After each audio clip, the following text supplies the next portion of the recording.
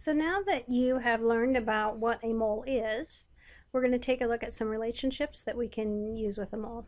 And the first one is when we look at the periodic table, the average atomic mass that's on the periodic table for a particular element tells us how many grams that one mole of that element would weigh.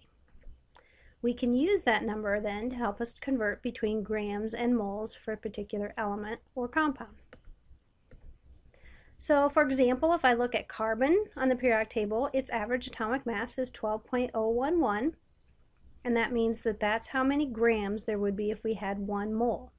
If we looked at any element on the periodic table and looked at its average atomic mass, that would tell us how many grams were in one mole of that substance.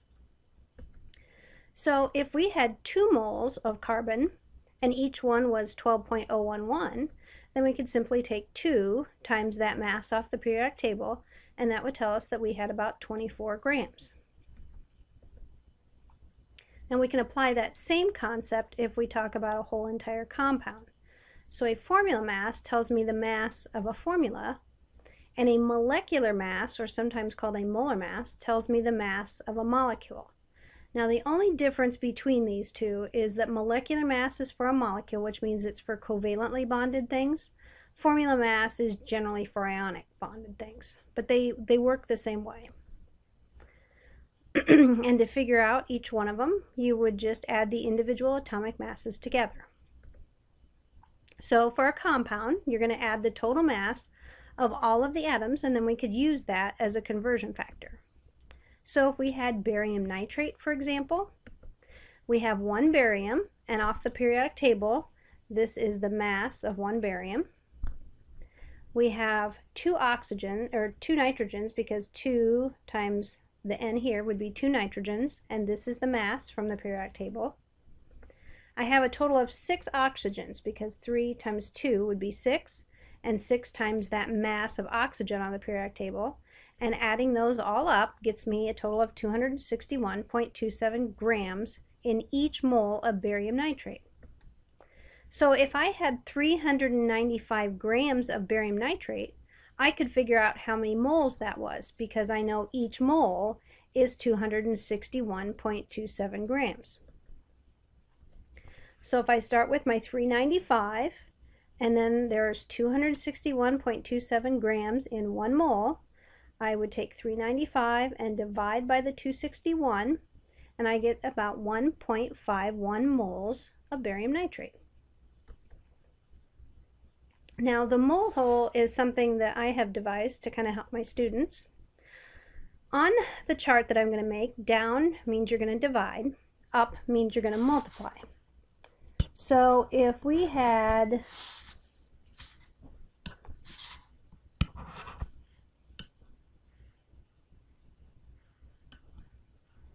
if we had grams, I'm going to put that up here, and typically moles, when we think of the animal, moles live in the ground. So I'm going to draw a hole here, and in my hole is my mole.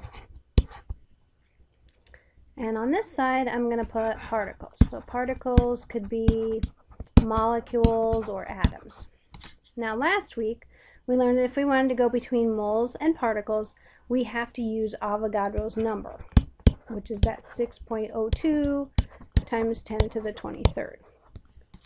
So if I had moles and I wanted to find particles, I would be going up on my chart and I would multiply by 6.02 times 10 to the 23rd.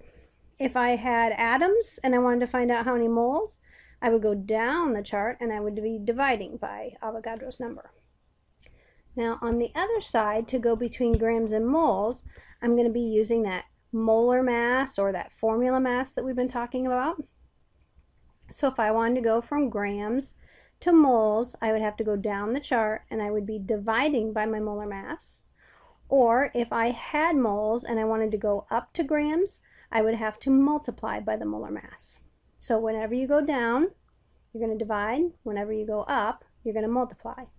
And right now we're focusing on going between grams and moles, so we've been using that molar mass, which is the things added up. Okay, now when we talk about stoichiometry, stoichiometry is a way that we can go between reactants and products in a balanced chemical equations and we can figure out what those relationships are.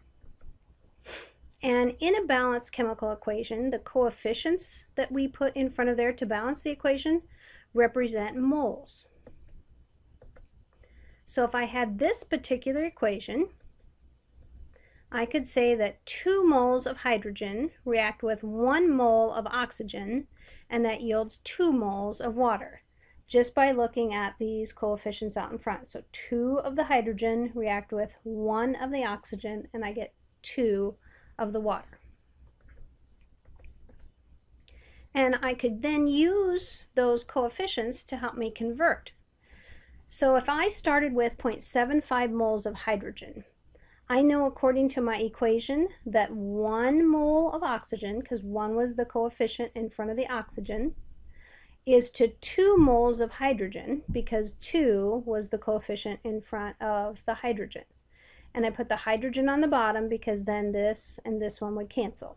And all I have left is moles, so I would take 0.75 times 1 and then divide by 2, and that would tell me I have 0.38 moles of oxygen. So basically I have about half as much oxygen as I do hydrogen. Now what we're going to do is we're going to take that molar mass piece and this mole piece and we're going to put it all together. So when we do a stoichiometric calculation, the first step that has to be done is we have to write and balance the equation. So that's where you're going to use your coefficients in front to help balance the equation. Once you've balanced the equation, you can then use your molar masses to convert the grams that you were given into moles. Third step would be we would use the coefficients in the balanced equation to convert between moles of one thing to moles of another one. And then lastly, we would convert the moles of what we were trying to find back into grams. Now, if we want to kind of simplify that, that means if we start with grams of one thing, we'll call it A. First step is go to moles of that substance. Then, between moles of A and moles of B, we would be using the coefficients in the balanced equation to help us go back and forth. And then I would finally convert between moles of B back into grams of B using my molar mass. So the first step here, this would be using molar mass. This would be using the coefficients. And this would be molar mass again.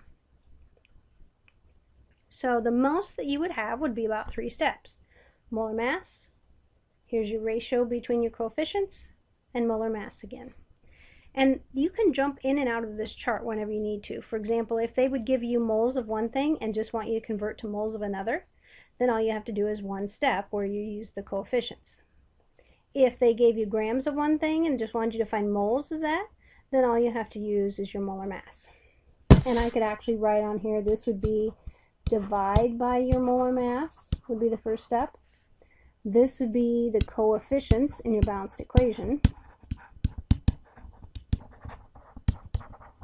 And then your last step, this would be multiplying by your molar mass.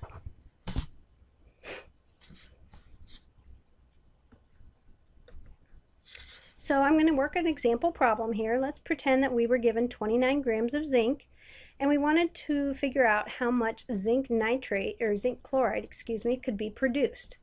So here's the unbalanced reaction below and I can tell it's unbalanced because I have two hydrogens and two chlorines but only here I only have one. So my first step is going to be to balance that equation. So I put a 2 here in front because that gives me two hydrogens to match with these two and that gives me two chlorines, and that would balance with these two. And there's one zinc on each side, so the equation is balanced. The next step is I would convert this 29 grams of zinc into moles. So to do that, I'm going to need my molar mass. So I take 29 grams of zinc, I'm going to be dividing by that molar mass from the periodic table, 65.39. So 29 divided by 65.39, and I get 0.9 moles of zinc, so almost 1 mole of zinc. My third step would be to convert that moles of zinc into moles of zinc chloride. So I had 0.9 moles of zinc from step number two. In my balanced equation, there was a coefficient of 1 in front of my zinc chloride, and there was a coefficient of 1 in front of my zinc. So I just made a ratio, 1 of zinc chloride to every 1 of zinc. So 0.9 times 1 divided by 1 would get me 0.9 of the zinc chloride. My last step then would be to convert that zinc chloride that I just found and convert it into grams. So to do that, I'm going to have to multiply by my molar mass.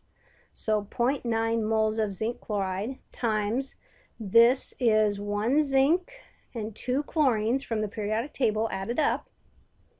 So 0.9 times this 136.3 and I get 120 grams of zinc chloride, which means if I started out with 29 grams of zinc, this is the amount of zinc chloride that I'm going to produce.